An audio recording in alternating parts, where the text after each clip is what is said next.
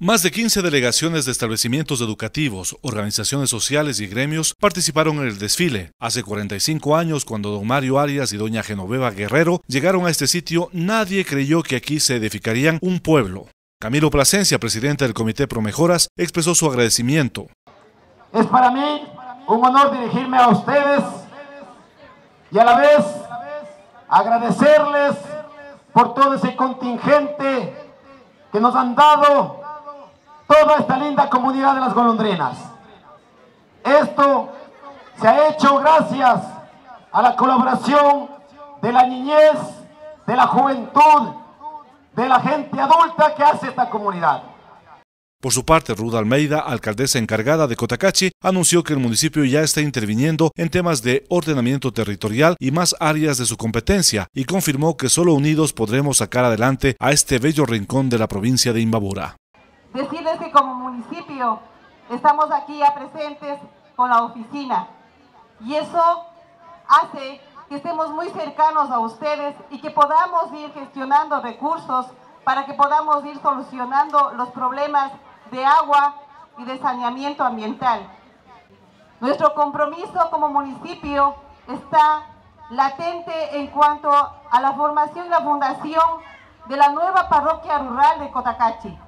Eso es un hecho, eso estamos trabajándolo y, y ese es el compromiso que está asumido como municipio de Cotacachi con la responsabilidad de los concejales, a las autoridades aquí presentes, decirles a ustedes líderes que ese empuje que tienen ustedes, que eso es lo que nos han inyectado y que seguiremos adelante trabajando en forma conjunta.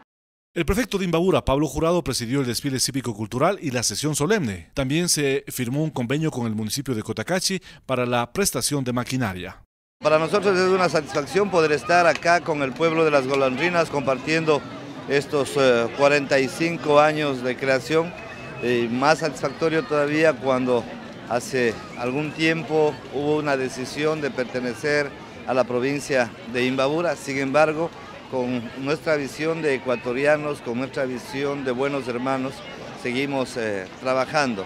Estamos para firmar el convenio también con el municipio de Cotacachi para legalizar la prestación de la volqueta y de la maquinaria para seguir atendiendo lo que es la recolección de basura en este querido pueblo de las golondrinas.